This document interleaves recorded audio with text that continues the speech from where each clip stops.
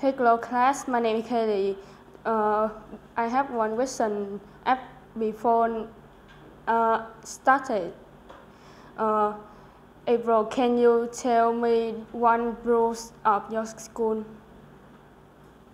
Uh, you mustn't, uh, you must wear your school uniform. Uh, tennis. You mustn't uh, go, go to school late.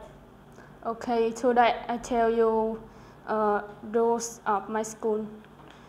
The first rules is you must writing full lesson in your notebook.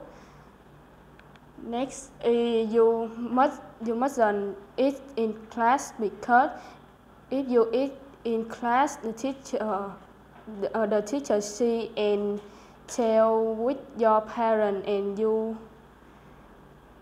uh,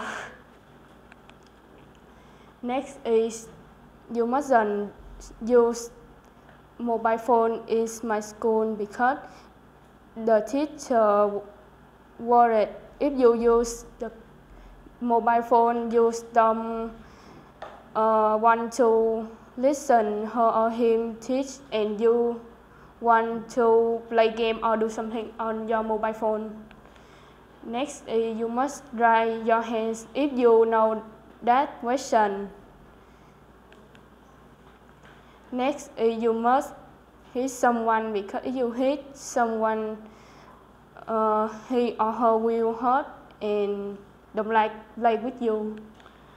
I'm feeling this. Thank you for listening.